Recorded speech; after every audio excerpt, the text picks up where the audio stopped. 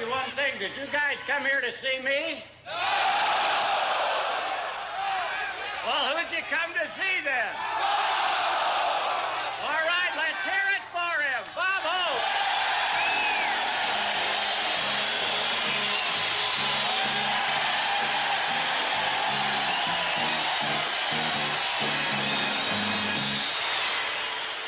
One of Dad's most important things, I think, was the fact that he was a connection between the home front and the battlefield. Dad usually came back with a suitcase filled with correspondence and things, and he loved getting letters from the servicemen who would write to him, and he tried to answer all of them.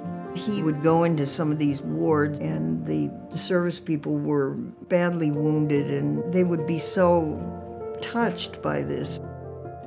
He brought what celebrity he had during his day to our service people. Before we return to our program, we wanted to make a special announcement. Linda Hope of the Bob and Dolores Hope Foundation is here this evening. So let's bring out Tom and Linda Hope to share some really exciting news. Ladies and gentlemen, this is Linda Hope, and I'm overjoyed to share the stage with her tonight. She has signed up to be our first caregiver champion in honor of her parents, Bob and Dolores Hope.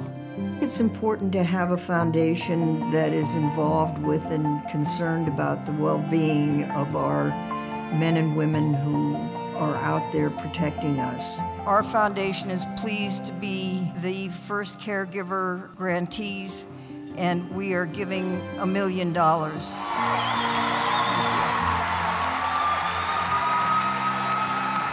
I've had the experience of being a caregiver myself, looking after both of my parents. I had a little taste of what it was like, but nothing compared to those that are managing a growing family and a husband or a wife that comes back and is in need of 24 hour care. That is, to me, the supreme sacrifice.